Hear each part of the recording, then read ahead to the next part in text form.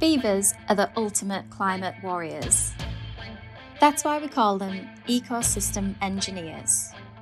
Their dams reduce flooding, prevent droughts, capture carbon, purify water, and increase biodiversity.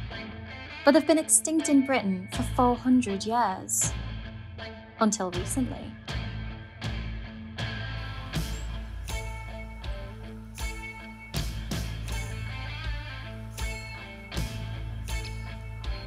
Beavers totally transform the landscape, creating whole ecosystems from scratch.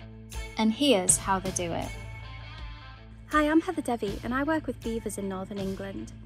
Now at the moment we're at the Lowther estate near Penrith in the Lake District because last year they released two beavers into an enclosure as part of an enclosed trial release.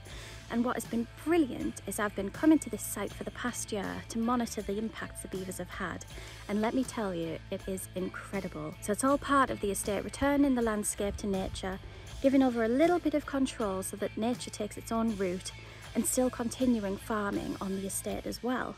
Beavers and humans actually co-evolved, and in Britain we coexisted with beavers right up until around 400 years ago.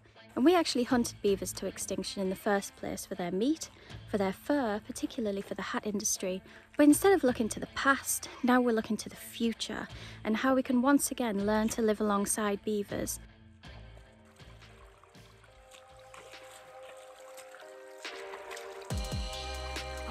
here we are at our first beaver feature, and where better to start than with a beaver dam? Now beavers are stimulated to create dams because they need around a metre's depth of water to feel secure. If they don't have that, they'll chop down some trees, they'll take the upper branches, and then they'll pull it into the water system and pack it in with mud and stones. And that's exactly what the Lowther pair did when they first arrived. Admittedly, this dam is a little bit humble, but from where it started in October last year, it's really increased in height and in length. And that's the brilliant thing about beaver dams. Beavers actually respond really quickly to changes in the environment, so they work with the water table.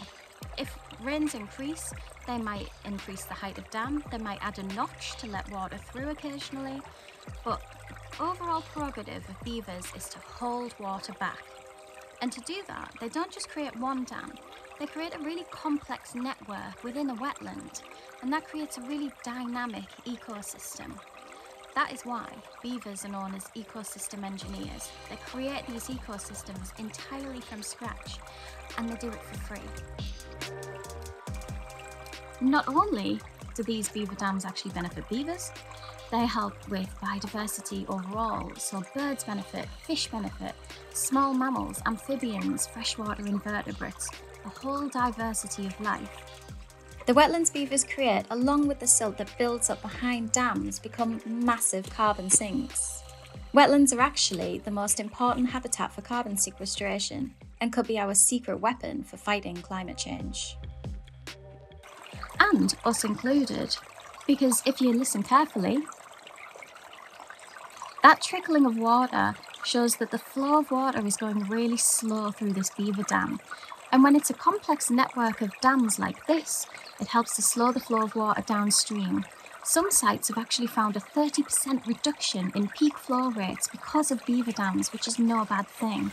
Other studies have found a 60% reduction.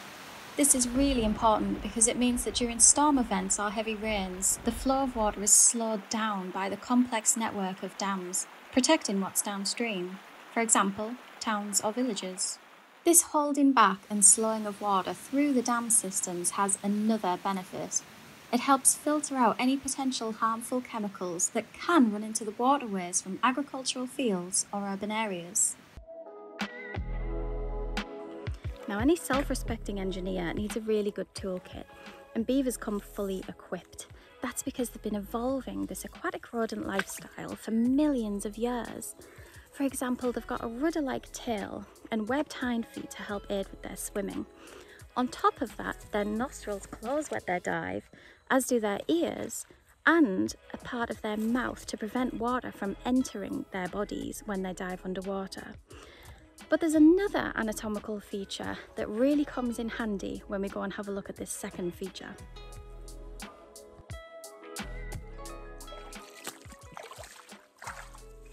So to beaver feature number two, and that is felled trees. Now, if you're in a beaver habitat, you're very likely to see these. Not only do the beavers need them to create their dams, they actually switch to a woody diet in the winter.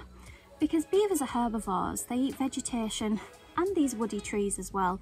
They don't eat anything else like fish.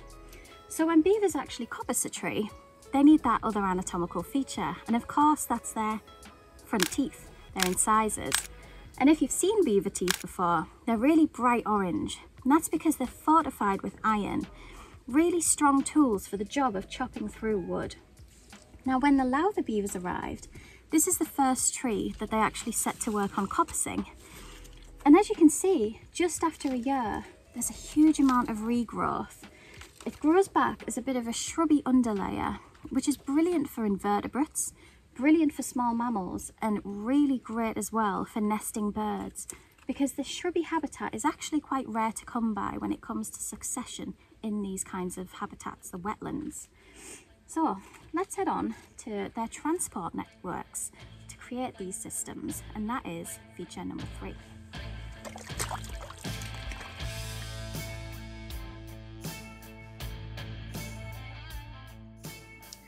Now, the third feature that not many people are aware of that beavers create are channels, and they create these by digging them out with their forefeet. And these are brilliant networks for other species too, such as amphibians and fish. Now, when it comes to fish and beavers, it's been shown that beaver pools actually greatly benefit fish mass and diversity in age. So, these networks actually act as transport channels for wildlife but also for the beavers to drag their building materials through. Of course, beaver impacts are going to vary according to each site, and in some situations we will need to work with them, such as installing tree guards to protect trees, or putting flow devices through dams to alter the height of water. But with enclosed trial releases and free living beavers around parts of Britain now, it's really important that we work together to welcome back nature's ally to join our battle against the impacts of climate change and the biodiversity crisis.